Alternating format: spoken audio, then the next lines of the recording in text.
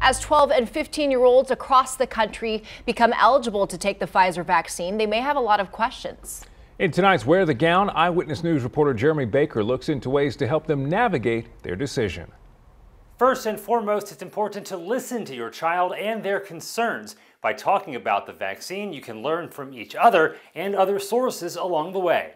Talk to trusted sites, just don't go to everywhere on social media and make your decision. It may take you a while, but you'll get there. Dr. Brigitte Bailey is a child psychiatrist working at University Health and on faculty at UT Health San Antonio. She says keep politics out of the discussion. We as parents need to make sure that our political issues don't affect what our kids are doing and what our kids want to do. Dr. Bailey says when talking to your children, explain the benefits of the vaccine and how it is similar to the flu vaccine.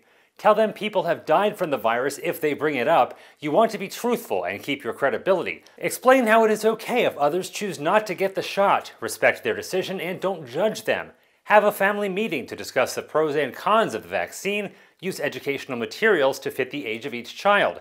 And if your child is vaccine hesitant, encourage them to ask questions and include your family doctor and other trusted sources. The local churches are still huge in communities of color. Because kids want to feel safe, explain how getting the vaccine will help them return to the way life was before the pandemic.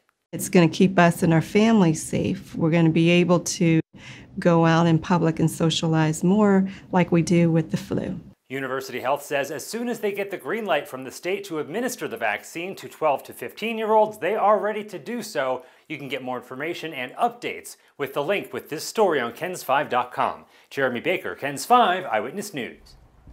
For more information about family health, call 210 358 3045. You can also find the rest of the Wear the Gown stories. Just go to wearthegown.com.